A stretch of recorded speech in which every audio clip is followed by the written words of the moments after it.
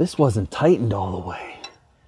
This was, this was a little bit loose, but that gave you a false lean, not rich. I don't like the way these threads feel. I think Danner had mentioned that too, didn't he? The nice thing is this has been removed already. This would make for um, make for a really difficult process if this wasn't already removed. The threads were definitely boogered up on this side in the in the uh, exhaust manifold itself.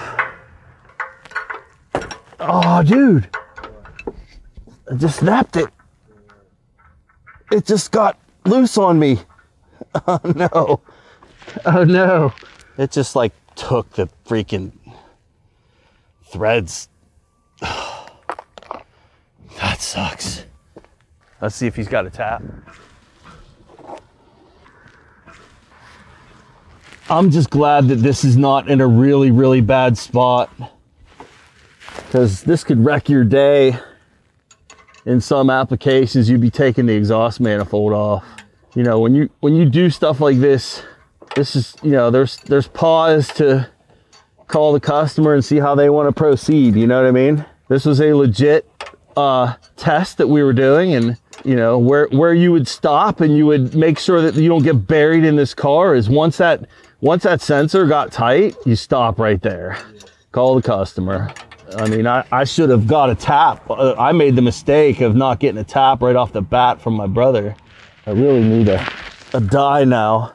So tap and die like the other part to clean the threads up on this O2. I don't want to booger the threads up in the manifold. I just bought something stupid. It's like Christmas. What is that? A universal thread repair tool.